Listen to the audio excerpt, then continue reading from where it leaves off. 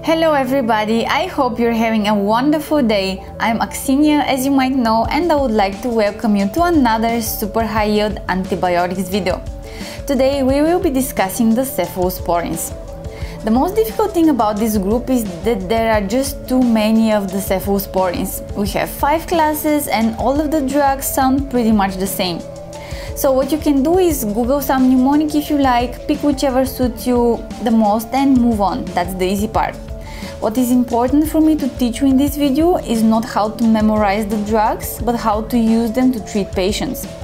The information in this video will be equally helpful to your USMLE exams and your daily clinical practice. So let's get started.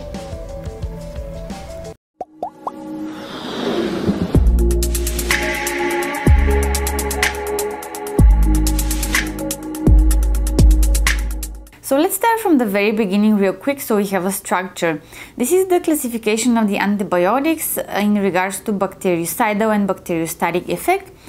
On the USMLE they like asking you these questions, especially on step 1 and step 3, which antibiotic is bactericidal and which is bacteriostatic. That's how they will catch you because most of the time we forget which one is what, right?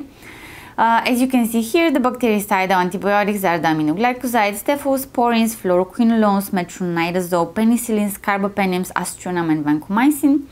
And the bacteriostatic antibiotics are the clindamycin, chloramphenicol, macrolides, linezolid, tetracyclines, and TMP, SMX, they're mostly bacteriostatic, but there is a certain controversy as to whether they have bactericidal effect too, but remember they're mostly bacteriostatic.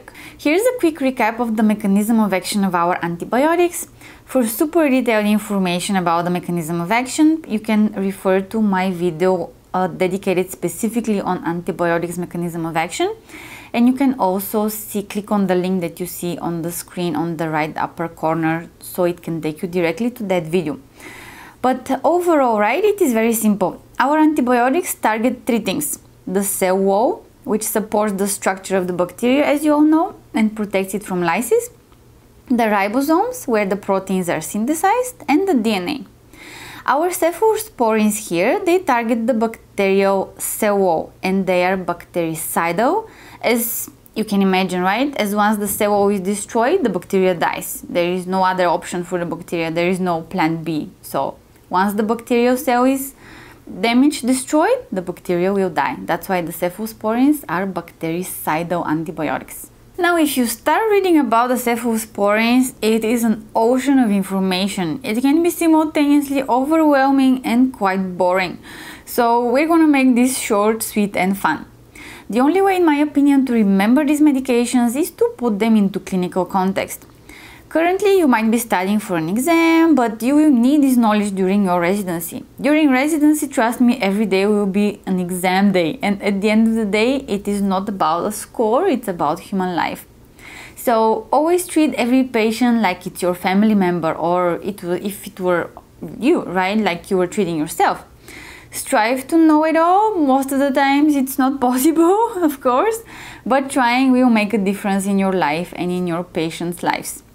So here you can see the first generation cephalosporins. The most commonly used ones are the cephalexin and cefazolin. They are active against most gram-positive cocci except for the enterococci, oxacillin-resistant staphylococci, and penicillin-resistant pneumococci. They are very commonly used to treat skin infections, the cellulitis especially, and they are also active against most strains of E. coli, Proteus mirabilis, and Klebsiella pneumoniae. The cephalexin and cefazolin, in this case, for gram-negative coverage, they are mostly commonly used for UTI.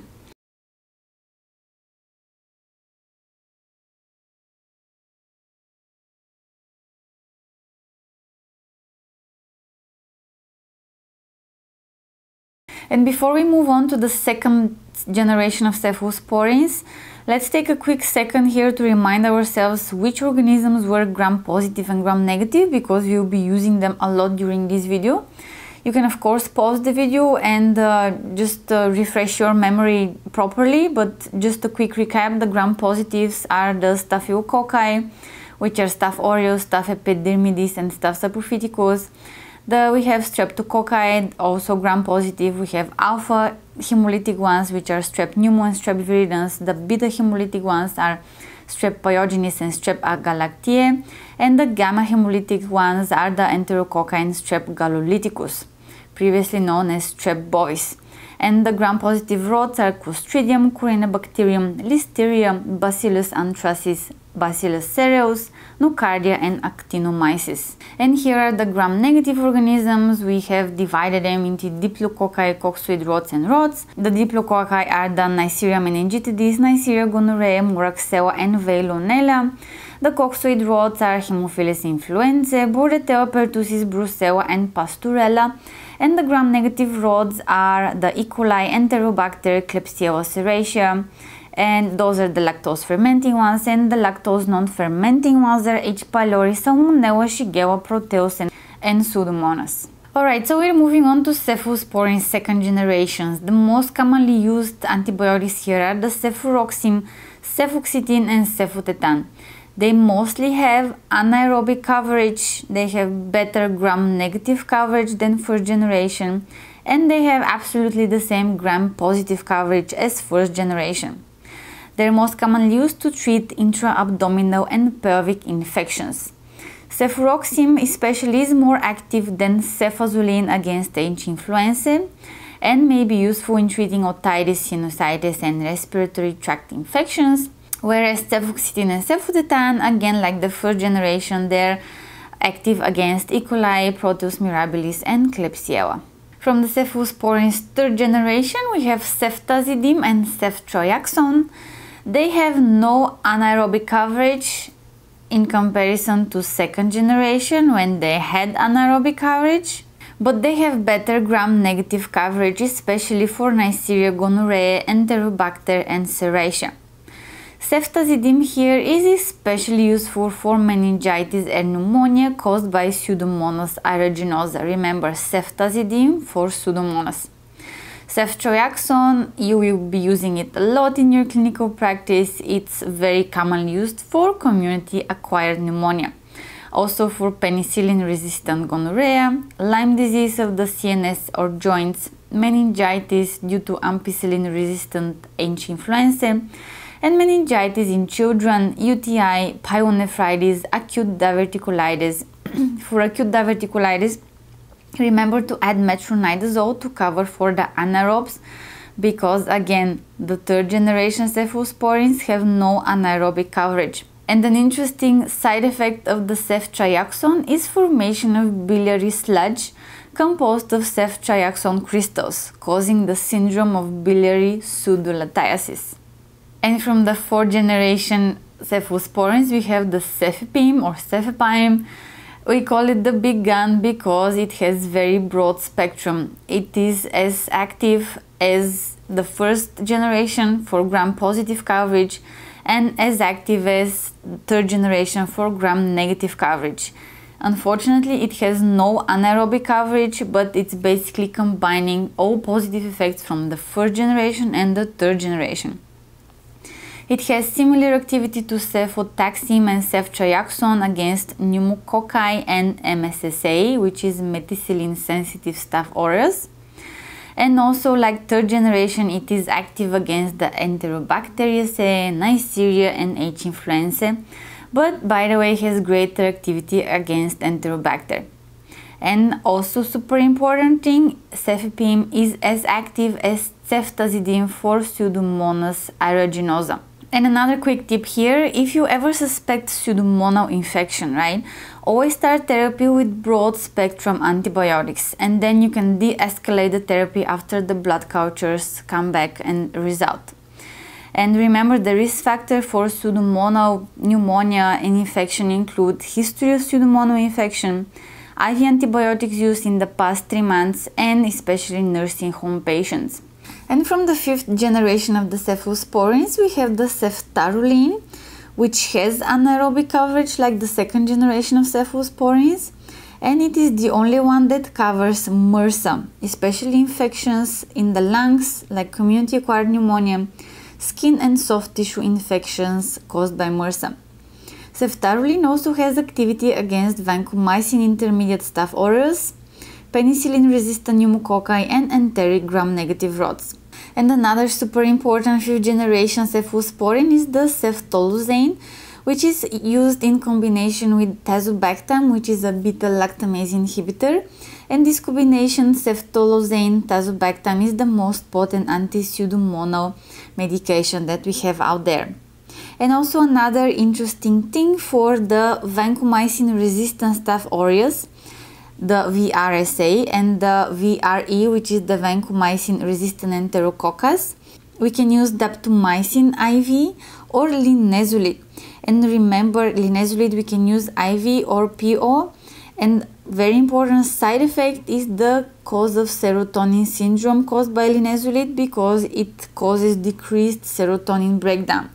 So remember, if you're ever using linezolid, be very careful if the patient is on any antidepressant like the SSRIs, right?